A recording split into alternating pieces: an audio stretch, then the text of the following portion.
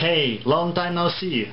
You know, I'm sometimes I can be a very lucky person because this weekend I saw three different shows on Broadway from top five first rows and in the center of orchestra. Woo! First show was Xanadu and I saw it because it's closing. Second show was title of show and it's closing too. That's I wanted to see it.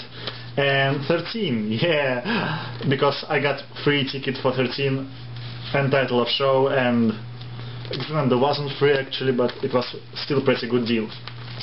Yeah, I'm very lucky about Broadway.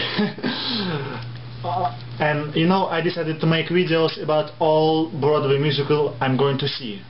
So if I see new show, Broadway, off-Broadway, or anyway, any show, I, I will make video about it on YouTube. I hate black and white playbills. It look awful, I guess.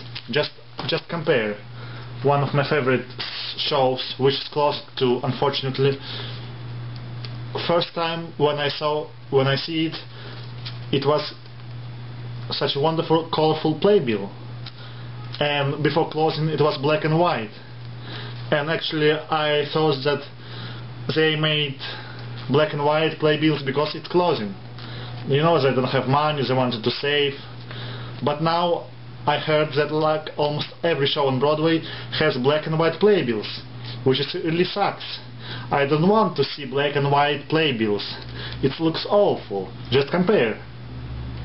Yeah. So please, please, if someone from Playbill hear me, return colorful playbills. Okay, you're going to see some videos about all these shows I saw this weekend. See you soon and don't forget to subscribe.